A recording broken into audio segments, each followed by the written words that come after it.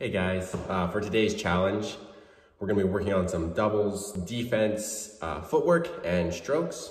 Um, so basically we're gonna be doing fast feet, um, and every few seconds, uh, hitting a doubles defensive stroke.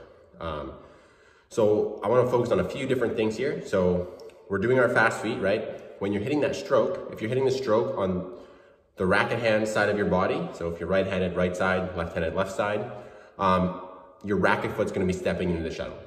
Um, if you're hitting a stroke on the non-racket side, um, I want the non-racket foot doing the step, okay?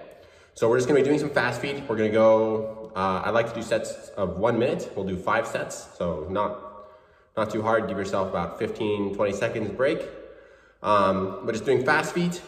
We're gonna have our racket out in front, uh, kind of good defensive position, our elbow nice and high, arm nice and straight. Uh, we're gonna be hitting those strokes with the step, so working on that rhythm of the step uh, with the stroke, um, and alternating from uh, different positions in defense.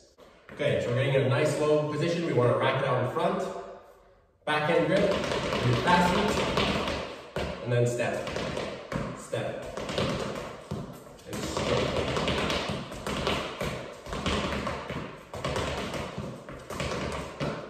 When we're hitting this, we want our stroke to follow the shot. So our string should follow the shot. We don't want a racket flipping over. We want it to follow where we're hitting. We also want to make sure that our contact time when we're swinging out is at the same time as when our feet are landing. So we're doing our fast feet. I'm going to do this in slow motion. We're doing our fast feet, and then we'll step as we hit. Okay, so making sure our stroke is following our shot, making sure we're contacting while we're landing.